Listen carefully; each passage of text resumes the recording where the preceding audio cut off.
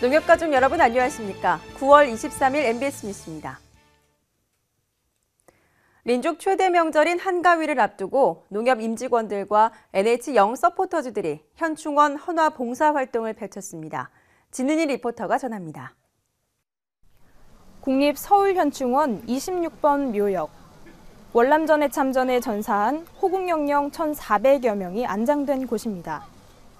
지난 22일 김정식 부회장, 박진상 상무 등 농협 임직원과 대학생 홍보대사인 NH 영서포터즈들은 호국영령의 숭고한 정신을 기리기 위해 이 자리에 모였는데요. 민족 최대 명절인 추석을 맞아서 어, 국가를 위해 목숨을 바치신 그 선배들을 위해서 우리가 그 어, 조상님들 그 성묘하듯이 헌화를 하게 됐습니다. 앞으로도 우리 농협에서는 어, 계속 어, 이런 행사를 실시할 계획입니다. 참가자들은 나라를 위해 목숨을 바친 전사자묘역의 조화를 새 것으로 교체하고 묘주변 정리 등 환경 정화 활동을 진행했습니다. 현충원은 어렸을 때 와보고 어른 돼서는 처음 와본 것 같은데 이렇게 NH 영 서포터즈들과 같이 와서 이렇게 어, 국가를 위해서 돌아가신 분들을 위해서 헌화도 하고 하니까 좀 뜻깊은 것 같습니다. 농협은 지난 2012년 국립서울현충원과 자매 결연을 맺고 정기적인 헌화와 묘역 정화 활동을 펼쳐오고 있는데요. 현충원 봉사 활동을 통해 NH 영서포터즈와 농협 임직원들은 호국 정신과 안보의식을 되새기는 뜻깊은 시간이 되었길 바랍니다. MBS 뉴스 진은입니다. 농협은 농산물 대외 마케팅 사업 추진 성과를 격려하기 위해 착화식 행사를 개최했습니다. 농산물 대외 마케팅 사업이 눈에 띄게 성장세를 보이는 가운데 임직원들은 앞으로의 더 큰 목표 달성을 결의했습니다. 농협경제지주는 지난 21일 이상욱 대표이사가 직접 직원들의 신발을 신겨주고 끈을 매주는 착화식 행사를 열었습니다. 이번 행사는 농산물 대외 마케팅 사업이 전년과 비교해 70일 앞당겨 3천억 원을 돌파하는 등 괄목한 사업 성장을 보임에 따라 직원들의 공로를 격려하기 위해 마련됐으며 또한 임직원들은 이 자리에서 올해 5천억 원 달성 목표를 결의했습니다. 아침 저녁으로 기온이 떨어지면서 구제역과 AI 발생 위험도 커지고 있는데요. 농협은 모든 방역 차량과 인력을 총동원해 특별 소독을 실시하고 각종 교육을 강화하고 있습니다. 농협은 지난 21일 농협사료 충청지사에서 이기수 축산경제대표이사와 박희수 축협협의회장 등 관계자 100여 명이 참석한 가운데 NH방역지원단 발대식과 소독시연회를 개최했습니다. 이번 시연회는 추석을 앞두고 귀성객이 몰리는 상황에서 축산 사업장의 자율 방역 의식을 높이기 위해 마련됐습니다. 매주 수요일 날 전국 일제 소독의 날로 지정을 해서 가축 질병에 대한 선제적인 대응을 할 계획입니다. 한편 NH방역지원단은 지역본부와 농협사료, 지역축협이 연합한 방역조직으로 앞으로 집중 소독 지역 선정과 관리, 긴급 방역 활동 등 현장 중심의 활동을 펼칠 예정입니다. 해마다 추석에는 농축산물 수요가 급격히 늘어나죠. 그만큼 전국 각지에 있는 농협 사업장도 출하 물량 확보에 바쁜 시간을 보내고 있는데요. 진은희 리포터가 추석을 앞둔 농협 사업장을 돌아봤습니다. 충북 원협의 거점 APC. 추석 제수용품과 선물 세트로 나갈 물량을 맞추기 위해 직원들의 손놀림도 바빠졌습니다. 크기별로 당도별로 분류된 사과는 정성스레 포장되는데요.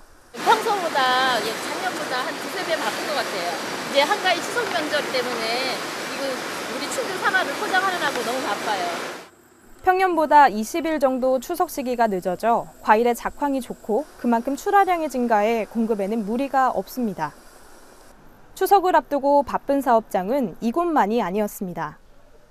명절을 앞두고 급격히 늘어나는 축산물 수요에 대응하기 위해 24시간 풀가동 체제에 돌입한 충북에 위치한 음성 축산물 공판장 역시 그랬습니다.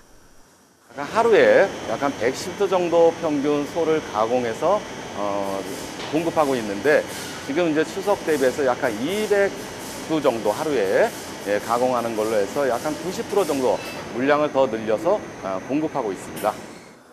이처럼 축산물 공판장의 추석 물량 확대를 통해 추석 물가 안정에 보탬이 될 것으로 보입니다. 추석이 코앞으로 다가왔는데요. 명절을 대비해 농협 유통센터에서는 이렇게 소비자들을 맞이할 준비로 분주합니다. 마트 한편 창고에서는 빠르게 팔리는 과일 선물 상자의 물량을 채우기 위해 바쁘고 배송 코너에는 벌써 주문을 마친 상품들이 줄을 지어 기다리고 있습니다. 한 올해 20% 정도 이상 물량을 더 많이 취급했기 때문에 직원들이 아침 8시부터 저녁 12시까지 온몸으로 혼신을 다해서 고객들한테 최선으로 우리 농산물을 공급하고 있습니다. 이 밖에도 농협은 전국의 농축산물 직거래 장터를 운영하고 농축산물 소비 촉진 가두 캠페인을 벌여 우리 농산물 소비에 전력을 다하고 있습니다. MBS 뉴스 진은입니다.